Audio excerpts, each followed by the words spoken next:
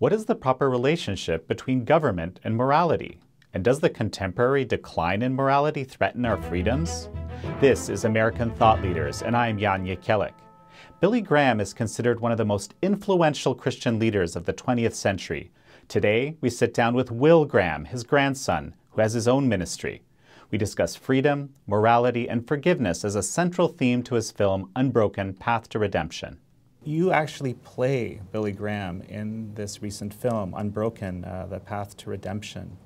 And uh, I noticed, and I think as we all did, that, that forgiveness is a, is a major theme in this film. And I'm wondering if you could kind of explore yeah, that a little it, bit for me. Well, first and foremost, it's a life story of Louis Zamperini. It's really the second half of his life. Um, there was a movie that was made a couple years ago by Angelina Jolie that kind of takes him from his uh, young adolescent years all the way through his war years, his captivity by the Japanese, and it ends with him coming home hugging his mom. This movie picks up right after he hugs his mom and picks it up from there. And most people think, oh, he made it home, he's safe, he's good, he's back home, everything's good. And it really wasn't. He was dealing with PTSD and he started to drink a lot and uh, he was having nightmares for the first time and he couldn't quit, and he was he would use drinking trying to pass out so he didn't have to dream, and because uh, all these nightmares of the people that tortured him while he was in uh, prison and during the war, and uh, and so he hated the Japanese. He hated the, his captors because they tortured him all the time, way beyond any human could really handle. Uh, they almost killed him. Um, but he, he made it through the war, but he hated his captors and he would just have these nightmares and he would start to drink. His drinking would make him drunk and pass out and not come home. It started to destroy his marriage. He found he tried to get married, thought that would make him feel better, find love, and be better, and married a wonderful lady. Um, but yet that didn't satisfy. He was still a drunk. He was still having nightmares. He wasn't satisfied in life. Well, they decided to have a kid. A kid will bring happiness, and it brought great joy, but didn't solve what he was looking for. And he was still a drunk. He was still having nightmares. And um, his, his whole life was falling apart. He was losing all the money that he had. He was losing his wife. She had filed for divorce, going to take the child and move away. And it was a bad situation.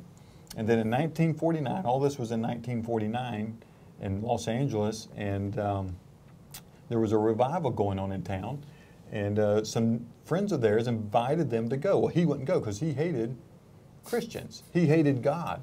He figured like God had done everything wrong against him, had hurt him, made him miserable, made him get captured, took away his running ability, uh, made him an alcoholic. You know, if God really loved me, then why did all these bad things happen? And that was Louis. And um, but but he didn't want anything to do with God, so he didn't go. But his wife Cynthia went, and she gave her life to Christ and uh, God forgave her her sin, and she came back and she forgave Louis. Said, Louis, I forgive you. God loves you, and I love you, and I'm not supposed to divorce you. I'm going to help you. I'm going to stick with you. And that, because she was willing to forgive Louis for being a bad husband, bad drunk, that softened her, his heart just enough for that when it came back next Sunday that he would go. And he went and he hated everything that the preacher said. He hated the preacher and didn't like anything that the preacher said. Well, next week she kept begging him and begging him, and so he went back. You know, just because his wife was not going to divorce him, he said, "Well, I owe her something. I'll go." But when the preaching, uh, when the invitation starts, I'm leaving. And so when the invitation came, he got up to leave, but he couldn't leave. He found himself walking to the front and gave his life to Christ. And that preacher was Billy Graham, my grandfather. And so this movie covers this transformation, the conversion of Louis Zamperini. And in that, I play the role of my grandfather. And um, it's a great story of forgiveness because Louis, uh, his wife Cynthia, received forgiveness. She gave forgiveness to her husband for being a bad husband, bad drunk. Um, Louis found God's forgiveness, and in return, Louis was able to forgive his captors, all these people that tortured Incredible. him. He had no longer hate for him, but now he had love and concern for him. And he went back to tell them about Jesus, how Jesus changed his life, and God can change their life. It's, that's, it's incredible. Um, so, in this in this vein, um, here's a statement, okay? American society as a whole, um, in American society as a whole, um, faith and tradition and uh, maybe traditional morality are things that are on the decline. Mm-hmm. Is that something you would agree or disagree with? Yeah, well, I definitely see it. I see um, those uh, morality definitely declining. We see the churches um, here in the states, at least people identifying with the church is declining. Um, it that's not true of every church. There's a lot of churches that are growing. The church I go to is growing uh, very well, but a lot of churches are declining. Morality is definitely declining. And um, I think we've taken the eye off the most important thing in life, and that's the Lord Jesus Christ. And when we do that, that's the result that we see. When we, we don't make God a priority in our life, then we left up to our own vices, our own way of thinking, our own way of life. Um, we come up with our own morality, and uh, because we have no standard to judge anything by. And so we'll do anything that brings us pleasure as our morality. And uh, we see that taking place in the United States, and not just in the United States, but all around the world right now. So, and when you look at how people treat, let's say, faith and religion today, how would you, how would that compare to, say, faith and religion at the time America was founded, or a few hundred years back? Well, if you look, if you look at the American, from a historical standpoint, look at our founding fathers, what they wrote, our our documents, like our Constitution, Declaration of Independence, it all mentions God. There's no, and, and back then they weren't talking about uh, Muhammad as their God. It was a Christian God. And uh, they were talking about Christ and God in general, but you know, they were open. They, a lot of people out of Europe came to, the, to this land to get away from religious persecution. And so they came out of religious persecution. So they wanted anyone to have the freedom of worship because they believed that God allowed us to worship. Um, but that was based on Christian principles. And so the founding of this nation was definitely founded on Christian principles. Uh, there's no hiding that. You can read state constitutions to our national constitution. It all mentions God. And, um, and I'm grateful for that. It's given us a lot of freedoms. I think it's made us into a wonderful nation. Uh, we're not a perfect nation because um, you and I are here. I mean, not, you're never going to find a perfect place here on this earth. Not right now, not until Jesus comes back, but I believe he's going to come back one day and establish his government. And that's what the Bible talks about um, the second coming of Christ. The Bible teaches that. Um, and I believe that he will come again and set up his kingdom here on earth. How do you see faith as, uh, and how that relates to having an open and free society? Well, um, that's a good question. You know, I believe with faith, um, when we trust in a higher being, in this case, I believe in God, I believe in Jesus Christ, um, that God's given us, uh, when we follow Him, we have a lot of freedom. Now, God's given us freedom, period, but we can make the choice to live according to His purposes, or we can live according to our own purposes. And I think when we live according to His purposes, you'll find out that there's a lot more harmonious action, interaction with other human beings um, because we're striving to please God, which means we also have to strive to you know, get along with each other. That's what the Ten Commandments are about. The Ten Commandments deal with the vertical, uh, our vertical relationship with God, but also our horizontal relationship with other men and women, that is. And so when we strive for those purposes, then we get along with God, then we're also going to get along with our fellow man. It doesn't mean that we're not going to have problems uh, among each other. We're going to make mistakes. We're going to hurt each other. And um, that's why I, I, believe that God's put uh, rulers in place, kings or presidents, governors, whatever they might be, in our place to help control that. I believe that the role of the government is to uh, punish that which is evil and to yet promote that which is good.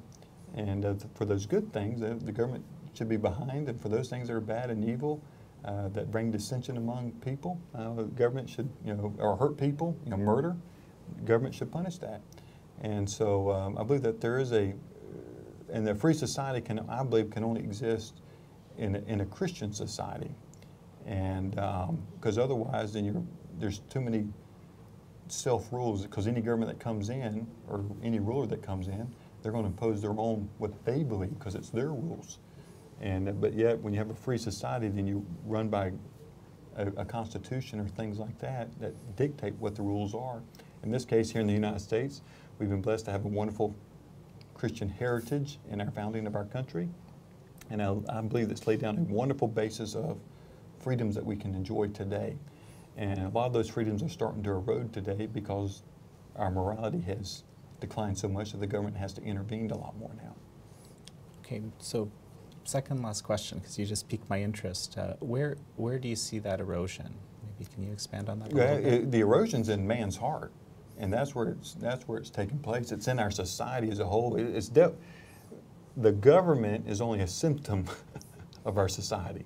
So when we see government dysfunction, like we're seeing a lot of dysfunction in Washington as a whole, um, I think most Americans would probably agree with that statement, whether Republican or Democrat or independent. We see a lot of dysfunction in, in Washington. That's just a symptom of society.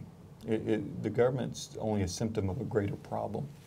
And so the problem is our hearts my heart, your heart, everybody's heart. And we're not always chasing after the good things in life. We're not chasing after God. We're not making Him the supreme leader in our life.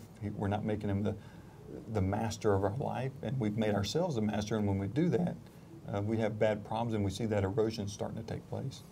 Okay, so so where where can we go today? You know, we are where we are today.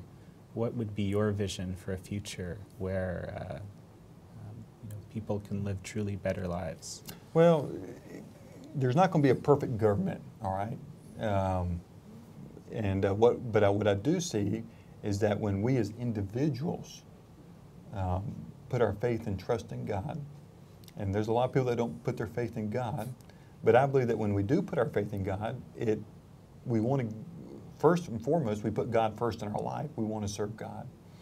The second thing God says, to love the Lord with all your heart. The second is to love your fellow man. And so now we want to help people in need. Um, we want to help those around us. We want to be good to our neighbors. We want to be good to our fellow man because God, that's what God desires us to do. We'll start to see a better society when that takes place. But when we put, take God out of it, now we make ourselves king of our own life. The, the only thing we do is self preservation. We're not worried about other people we don't want to get along with other people. It's, you know, you're going to, you better take or you're going to be taken advantage of. You better do it. And so that's where I see a lot of the erosion taking place. And I believe that's where, when we give our life to Christ, we can see that change. And it can only be a spiritual change. It'll never be dictated by a lawmaker. It'll never be dictated by a politician or someone in the White House. It's going to be dictated because God changed someone's heart. And I believe that's the only hope for America or for anyone in this world. Thank you. I really appreciate your time. Yeah. Great mm -hmm. to see you. Thank You're you. Great to see you as well.